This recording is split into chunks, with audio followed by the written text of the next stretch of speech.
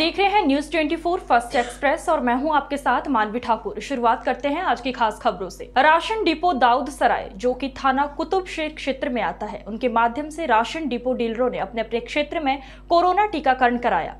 भाई मंसूर के प्रयासों से मोहल्ला बंजारन मोहल्ला, जाटवा नखासा बाज़ार व अन्य क्षेत्र ने टीकाकरण कराया। सभी राशन डीलरों ने अपने अपने क्षेत्रों में सैकड़ों लोगों को कोरोना वैक्सीन की पहली डोज लगवाई। मंसूर ने बताया कि सितंबर माह में उनके क्षेत्र में विशेष अभियान में ज़्यादा से ज़्यादा लोगों ने टीकाकरण करवाया था, जिनकी दूसरी डोज चौरासी दिन बाद दिसंबर माह में लगेगी। परंतु इन चार कैंप में भी बचे सैकड़ों लोगों ने टीकाकरण करवाया, जिसके लिए इलाके के लोग साधुवाद के पात्र हैं। मंसूर ने इलाकों की मस्जिदों, धर्मस्थलों से लाउड स्पीकरों से लोगों को जागरूक किया और नुक्कड़ मीटिंग लेकर लोगों को टीकाकरण के लिए प्रेरित किया।